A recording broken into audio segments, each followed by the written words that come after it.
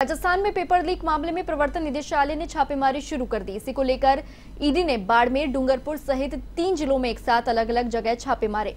बाड़मेर में read paper leak मामले में गिरफ़्तार ठेकेदार भजनलाल विश्नोई के घर पर छापा मारा है। वहीं डूंगरपुर में आरपीएससी मेंबर बाबूलाल कटारा के घर पर छापेमारी की गई। दरअसल ईडी ने राजस्थान लोक सेवा आयोग की ओर से आयोजित सीनियर टीचर भर्ती के पेपर लीक और रुपयों के लेन देन पर मनी लॉन्ड्रिंग में उदयपुर सेंट्रल जेल में बंद आरोपियों से पूछताछ की थी।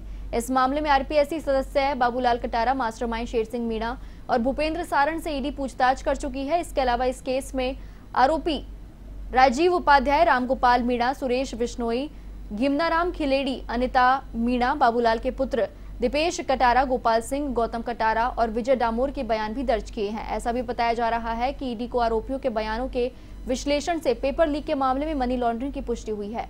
गौरतलब है कि पेपर लीक में ईडी ने राज्यसभा सांसद डॉक्टर किरोड़ी लाल मीणा की शिकायत पर मनी लॉन्ड्रिंग का मामला दर्ज किया था।